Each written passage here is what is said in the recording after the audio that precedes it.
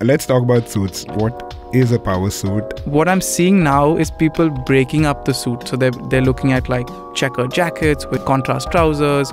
People are actually even, they're ditching the tie a lot. People generally think in India, oh, your first suit is a black suit. I've made that mistake, man. That's the worst thing to do.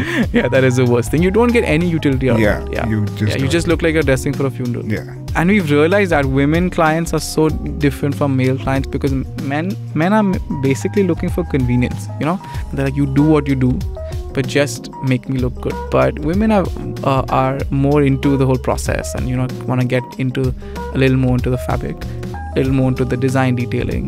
I think it's more about you being confident and you portraying that confidence through what you're wearing. So um, that is for me uh, what you what you call a quintessential power suit